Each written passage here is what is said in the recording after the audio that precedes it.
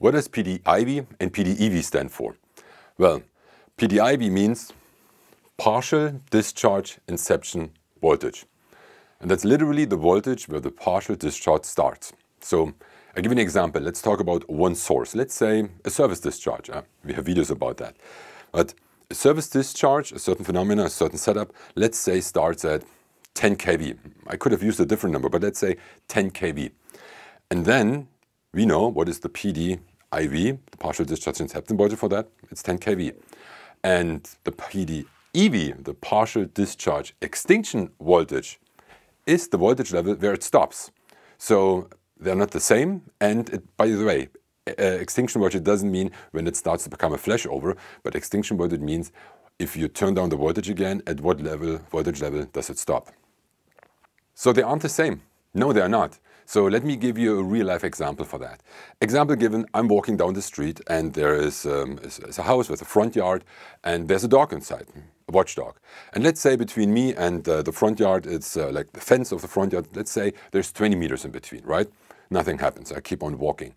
Now it's 15 meters between me and the fence. Nothing happens. It's 10 meters between me and the fence. Ah, the dog takes notice of me, but it doesn't bark yet. And now it's like 8 meters. And suddenly the dog starts barking. So this is like the barking inception distance. At 8 meters, the dog starts barking, right?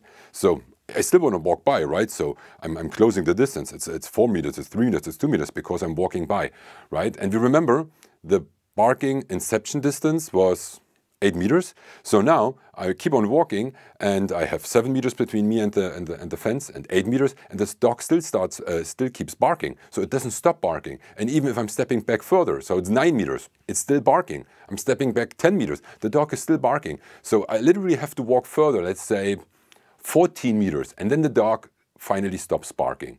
So the barking inception distance was 8 meters and the barking extinction distance was 14 meters, example given, right? So there are different values. So as a matter of fact, there's a hysteresis in there.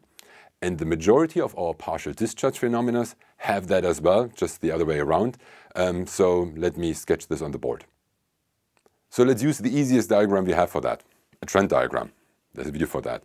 So um, the diagram here on this axis, we have the voltage in kV. So obviously we have 5 kV, 10, 15, maybe around 20 over here. And here we're having our charge, the charge, the, the magnitude um, of the partial discharges we have. This is Q. It is measured in picocoulomb. And now let's say, because I'm lazy, I'm going to use uh, this graph here in logarithmic view. Why not linear? Well, if I'm doing it linear, I should have an idea where I'm ending up with. If I'm doing logarithmic, it's like, oh, I can cover everything from like 0 PC to a nanocoulomb or 5 nanocoulombs. I can see everything at once. And uh, I'm, I don't, I'm not so much afraid that I'm missing something. So let's say this is um, 10 PC here, logarithmic, then this would be 100, and this would probably be 1000 PC. And so I have pretty much everything covered, and I'm starting with 0. And um, so that's good. So Let's say I'm having, I don't know, background noise of let's say 5 PC because I'm in a fairly good laboratory and um, I'm going to have a corona. So I'm going to start increasing the voltage. So I'm starting around here because it's around 5 PC background noise and I'm having a corona and nothing happens. So I'm turning the knob, but nothing really happens. And now let's say at around this point, my corona starts and it starts. And now I have a corona, I can see it on my screen. It's really awesome.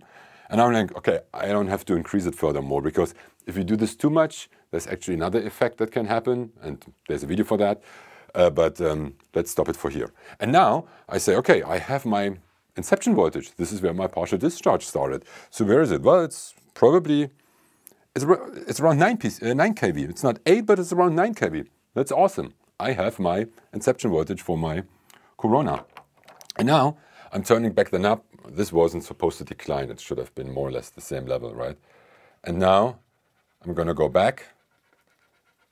And according to uh, a standard or to a paper, uh, it's a pretty old one. It's like 20 or 30 years old. It actually says that the corona doesn't have a hysteresis. So the inception voltage and extinction voltage is almost the same.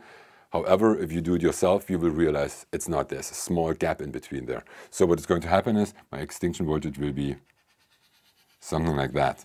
So I now have just the noise floor again, right? So in my experiences in laboratories, the hysteresis, the difference between extinction voltage and inception voltage, um, inception voltage and extinction voltage, sorry, is always around 500 volts, more or less. A funny side fact, if you use a ventilator, if you use a fan, and you uh, blow a lot of wind on that, you will actually realize that the inception voltage and extinction voltage are getting much closer to each other because you do not have any ionized air in front of the needle tip anymore and uh, you blow that away and then these things become closer or get closer to each other. So do I have already determined my inception voltage, my extinction voltage. Let's say this is 8.5 kV. Well, as a matter of fact, I wouldn't rely on that. I will probably do uh, three repetitions or something like that. So I'm going to start here again. I'm going to go up and I'm getting a slightly different value. And now it actually sometimes even goes a little bit higher. And then I say, okay, I'm going to go back with my voltage and um, getting something like this. You understand what I'm doing, right? Do this three times, takes the mean of that, and that's pretty much it. And then you have determined what your inception voltage and your extinction voltage is, more or less. Why is it so important? Well, um, very often, if if I tell, you know, hey, buddy, we got partial discharge on this device, the very often the answer is not, oh, I'm really happy about it. It's like, darn, um, how much and when does it start? So it's really important. At what voltage level does it start? Why? Well, it's really important if the if the standard defines, okay, this this device shall not have any partial discharges up to this value, and your partial discharge starts much above that, you're safe, right? It passed the test. If it's much below, you have a problem. If it is much below um, operating voltage, then you have a real problem. Meaning, as soon as you put this into service, it will have partial discharges. And this is not a good thing to start with. Okay, uh, let's imagine we have a surface discharge now. So, surface discharge, different colors. I'm going to um, do this an hour later, so my background noise has changed a little bit, um, just so I don't draw on the blue line. And um, this is my background noise. A couple of couple of hours later.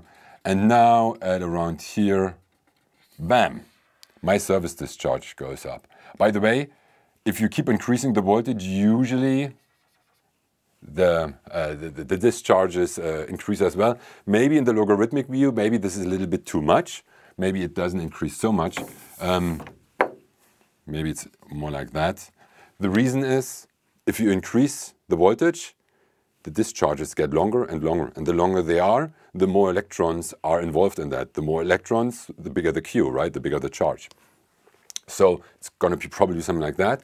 And now you want to know, okay, what is my extinction voltage, right? So you do the same thing. You go backwards. Sometimes you got these little bit of changes. Um, and then you realize, oh, isn't that interesting? My hysteresis, the difference between my inception voltage and my extinction voltage on a surface discharge is much bigger. Isn't that awesome? Uh, the interesting thing is depending on the material you have the partial uh, the surface discharge on, um, it destroys the material quite fast and sometimes even carbonates it depending on what you have, right? So uh, it is not uncommon that if you play this game for a longer time, your inception voltage might get smaller and smaller because uh, the destruction of the material already happens, depending on what you have. So once again, same game, right? What is my inception voltage? Well, I'm going to do this again. I'm going to go up. I got this one. I'm going to go down. And I do this two or three times just to get the means in order to have a, a proper answer. And um, well, so it doesn't get boring. You probably understand uh, where we are heading at. Uh, let's say we're talking about a void. Same thing. Um, now it's, uh, it's in the evening. I have a I have a much lower background noise because nobody is working. And my background noise is only like two picocoulomb, and uh, I do that. And now suddenly my void starts, and this is fairly for voids if you only have a single void, very often if you're measuring something, you have multiple voids in there, but let's say you have a single void in a solid insulation system. Very often, even though if you increase the voltage, the discharge value doesn't really change so much. The repetition rate changes, but the discharge value doesn't change so much because it's always the same gap. It's always the same capacitor that is being bridged. So very often you find a fairly straight curve um, concerning uh, the discharge value, right? It doesn't change so much. If you would have multiple ones, what could happen is actually that you go another one. But now you just triggered a second void. I mean, a lot of simplifications here, right? But let's just imagine this here is void 1 and this here is void 2. You just didn't know it better when you started. I mean, very often we do partial discharge measurement because we don't know, right? So, and now, same thing here. Um, you're going to reduce the voltage again.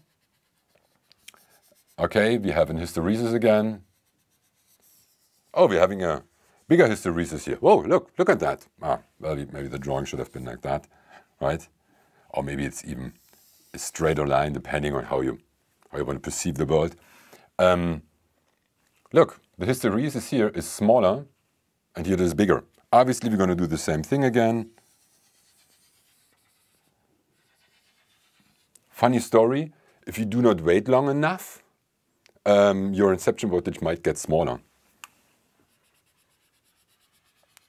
Your extinction voltage very often stays the same in case you have not destroyed um, the solid insulation system again. So if you if you do not wait long enough, and wait long enough, that's a really uh, interesting question. What does it mean? It could be a couple of seconds, could be a couple of minutes. But if you do not wait long enough and immediately turn the knob again, you might get an inception voltage which is suddenly here.